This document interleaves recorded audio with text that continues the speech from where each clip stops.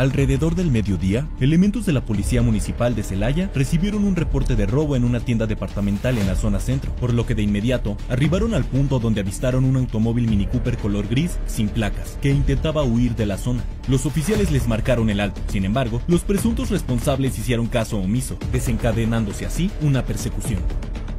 Gracias a la coordinación entre los elementos policíacos y el sistema de seguridad C4, nunca se perdió de vista al vehículo implicado, y luego de diversas maniobras, los uniformados lograron que el conductor perdiera el control del volante y que saliera de la cinta asfáltica. Fue en ese momento cuando los policías detuvieron a Leonardo N. y Sonia N., de 40 y 38 años respectivamente, originarios del Estado de México, a quienes les aseguraron diversos aparatos de telefonía celular. Tras las problemáticas que presentó durante la persecución, el vehículo implicado comenzó a incendiar por lo que bomberos municipales realizaron maniobras para mitigar el fuego.